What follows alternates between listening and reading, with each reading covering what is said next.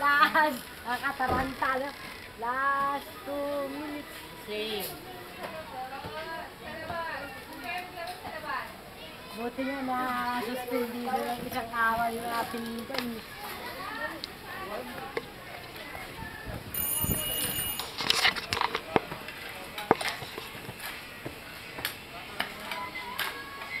Luki,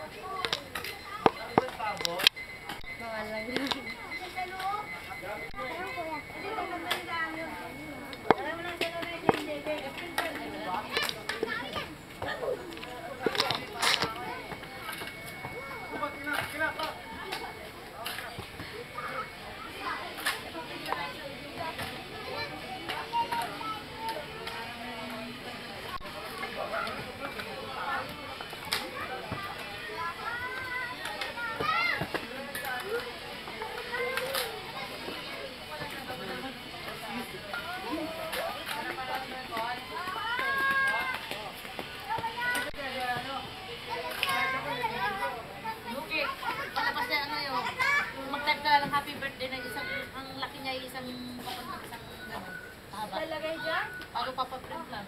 Talagay dyan? Oo. Para happy birthday lang. Bago pag ayaw na niya, tatanggalin para lang isang Maganda Cartolina kay Pinky, yung ginawa dati sa kaysa inyo, net. Ay, matagal pa yun. May art paper dito. Iko!